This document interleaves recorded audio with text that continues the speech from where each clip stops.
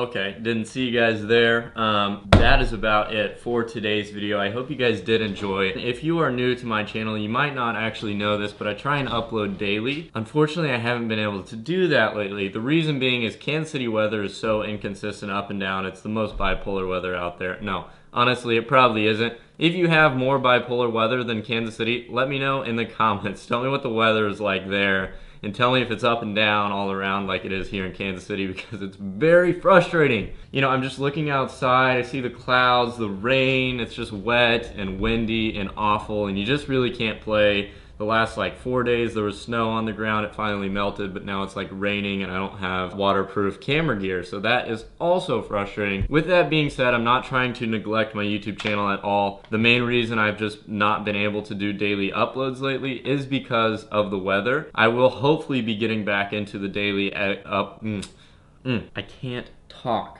I will hopefully be able to get back into the daily upload schedule whenever the weather starts to, I don't know, like I need to move south or something because we still got a long ways to go before the weather gets better. It's the winter is just starting, so I need to figure out a solution. I'm going on break as far as classes go. Like my last final is like December 12th, so I'll be able to go south hopefully and take like some sort of trip south. I know I'm going to the PGA show for a couple weeks, so that's going to be good. Some collaborations coming soon with that. Anyway, hopefully you guys did enjoy this compilation. If you did, be sure to stay tuned for the next video. Hopefully tomorrow, but I don't know. Just depends on how the weather acts. Yeah, thanks for watching. Till next time. Um, yeah. Peace out.